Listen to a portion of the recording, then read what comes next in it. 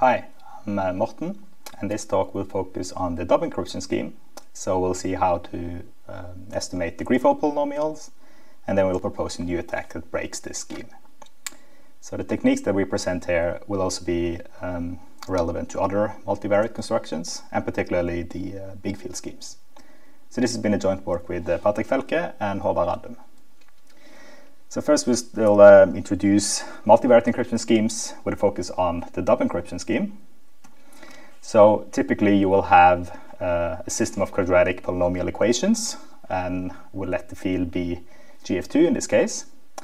So in, to encrypt, you um, simply evaluate your polynomial system on the plaintext you have, which gives you the ciphertext. For decryption, you have to solve this resulting system um, essentially inverting this to recover your plaintext. So the benefits are um, post-quantum security, efficient encryption, and typically small ciphertexts. The drawbacks, however, have, however are uh, could be large public keys. Um, decryption are often inefficient depending on the scheme, and the security is also very hard to, to get right, especially for multivariate encryption schemes. So this is sort of the standard setup for uh, big field uh, encryption schemes. So you choose two invertible matrices, and then you have your uh, extension field isomorphism. So you start by kind of um, applying one of your matrices, then you go up to the extension field. Now you apply some sort of simple uh, function, polynomial over your extension field. Um, and this is chosen such that it's easy to invert. Then you go down again and apply your last matrix. So composing everything from left to right will give you your public key. And uh, these, uh, these polynomials will now be quadratic if you have chosen your f to be, um, yeah, if you have chosen your f properly. So the idea for uh, Macario-Rat and Patarin was to choose um, the Dobertin polynomial, uh, Dobertin permutation for f. And you may note that sort of this um, polynomial in and of itself will have a high degree. But uh, what the, the authors show is that you can find, kind of given the, um, uh, the ciphertext, you're able to find a polynomial equation with low degree, which you can then use for decryption, decryption. So uh, where it's easy to, to, sort of find roots. So that means that all of these uh, maps in this construction are invertible and sort of inverting, inverting it piecewise will be how you decrypt. Now, if you take f kind of, if you use this as is and take f as a public key, then this would have been um, insecure. So it's an, unfortunately, it's like an unavoidable consequence when you are choosing f like this, that there are um, degree-fall polynomials as they called.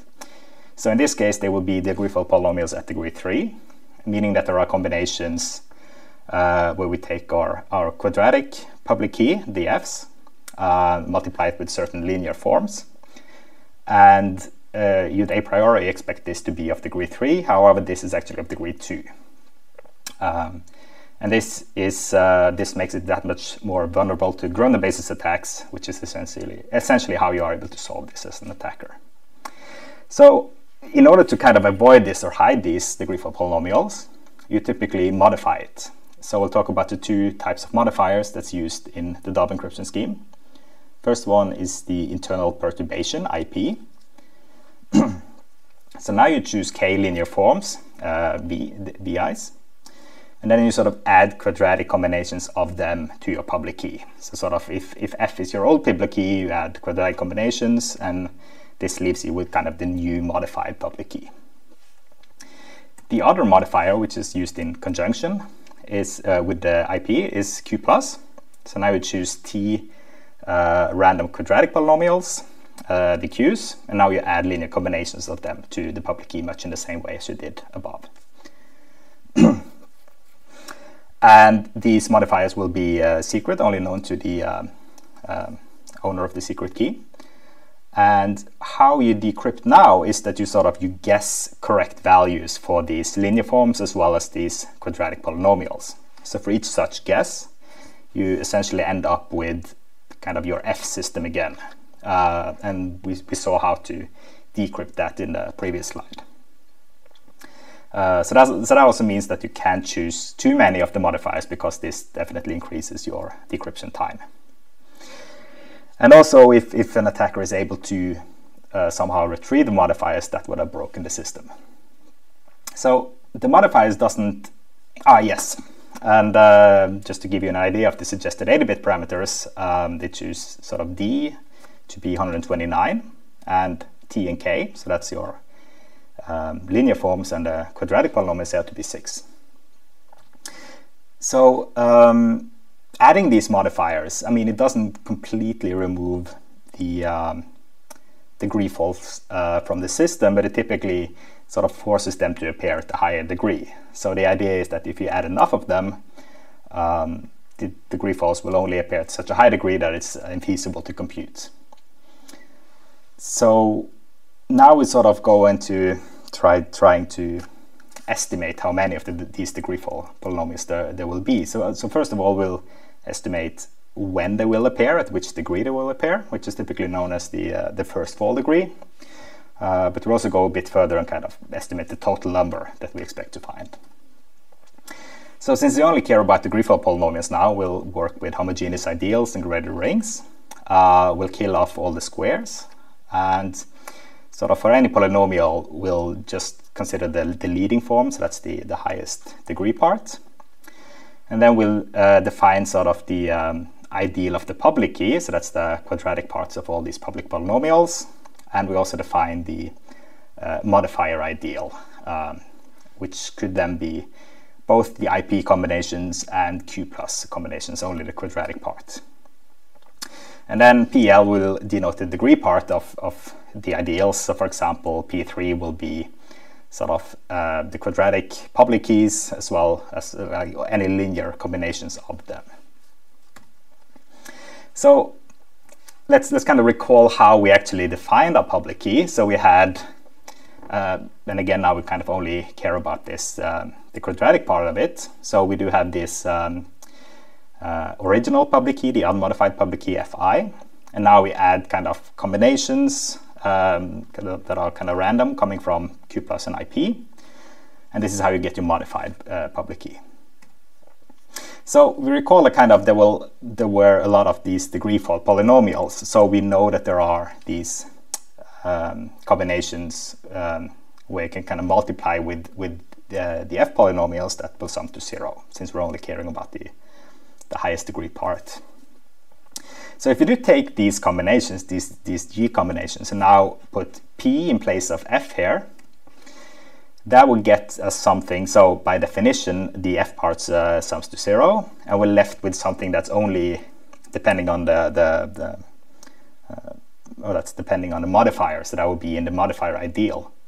So sort of a first observation is that if you have a lot of these degree fall polynomials, and the the dimension of your um, modifier ideal at a certain degree is not that high, then you would still kind of expect to see degree fall polynomials, even in a modified system. So this is sort of the intuition we have for, um, for this sort of first uh, formula estimating these uh, degree fall polynomials. So for a degree nu, we kind of look at uh, S, S, and F, which will be uh, sort of the, the, uh, the non-trivial syzygies, the degree fall polynomials in the unmodified system, so we count them first. Um, M is the uh, modifier ideal, so it, that, that I mentioned there. And then P and M is sort of a correction component as we've written here. So we don't want to count things twice and at some degrees uh, there, there, will be some overlap between M and P. So, so that's that sort of things. But the, the, uh, the main idea is sort of that at, at, at least for smaller degrees, all of these components can be computed. Um, so, so this can be computed by looking at this sort of simple description over the extension field of the Dobertin polynomial. And m is also relatively easy to compute because you assume, because the modifiers are uh, randomly chosen, so you can assume, assume some genericity of them, on them. Right. Um, so, so, so this is not the only estimate we can sort of think of. Um, so up to now, we kind of assume that all of these degree for original degree four polynomials plays a part. But we can also have uh, estimates where we only consider certain subsets of them. So the kind, of, the kind of benefit to this is that now we don't have to remove everything from the uh, modifier ideal, but kind of only certain sub-ideals of that. And sometimes that is a good trade-off.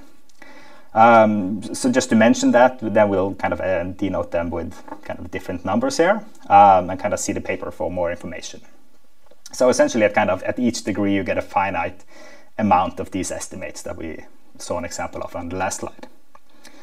And then we take kind of at, at, at each degree the largest of these estimates is what we expect to be uh, the degree fall polynomials that we'll find. Um, and if all of them are negative, then we simply expect to there to be no one. So to give you an example, this is how it looks for degree 3. So this is kind of the, the estimate where we count everything. So then we do have 2D degree fall polynomials in the unmodified system. And this is how the modifier ideal looks like. So this is the contribution from IP, and this is the contribution from Q+. If you go up to degree 4, th things look um, a little bit more messy, but it's still kind of reasonable. So, um, so this this part sort of mostly grows by a factor n. The modifier ideal gets a little bit more complicated, uh, but you still have kind of clearly defined this is the contribution from Q plus, from IP, and now we sort of have to not count things twice, essentially. And at this degree, we also get some of this, this um, extra component. We actually didn't get at degree 3. Um, but here this will be d, in this case this will be the number of public polynomials, and t plus q choose 2 will be the number of kind of quadratic uh, modifier polynomials. So it's actually just multiplying those, uh, um, those polynomials together. Uh, and we kind of come back to this, this part later. This will be uh, important. So we can see that, uh, like, how does this actually look in reality? Are they um, are these formulas capturing it? Um, and the answer seems to be yes. So here each row is an experiment. Um, these four first uh, row uh, columns will be uh, different parameters. Uh, this is what we predict from our formulas. So we have kind of written out these formulas up to degree five. Um, and, and kind of this is the number that we predict. And this is the, the number that we get from kind of running these experiments. And of the, the first observation is that these numbers always agree with each other. And another observation, and I should also mention that kind of this is this is not just these few uh, experiments. We've actually run, I think we have almost four uh, pages full of tables like this in in um, in the extended version of the paper. So so like for all the experiments we run, um, these formulas are actually exact. So here we also see that different kind of formulas, different of these estimates become dominating depending on the par parameters. And lastly, we also note that we have d, which is the number of um, public polynomials, as well as the degree of the field extension, but we also have n, which will be the number of variables. And now in the Dob encryption scheme, these are the same, but we do allow for n to be smaller than d, as we can see here. Um, so that was sort of that would mean that an attacker kind of guesses the values of some of the um, variables, which is known as a sort of hybrid attack. So here we see that kind of, and, and kind of guessing values like this uh, um, changes the, the number of degree fall polynomials, but we see that we are, like our formulas are still exact even in these cases. Right, so up to this point we have kind of, we've categorized uh, the number of degree fall polynomials, at least up to degree five.